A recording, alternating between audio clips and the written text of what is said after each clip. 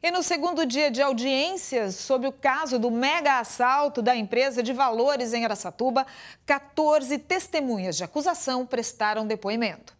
Ao todo, 14 testemunhas de acusação, entre elas um delegado de polícia, foram ouvidas hoje no Fórum de Araçatuba. O trabalho começou essa semana, mas ainda não há uma data marcada para acontecer as audiências da defesa e os interrogatórios dos acusados.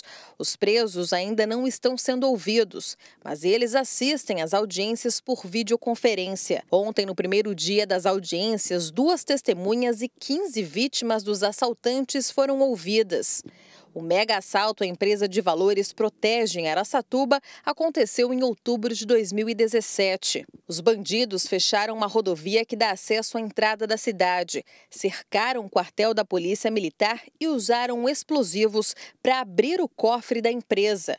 Os criminosos levaram cerca de 10 milhões de reais.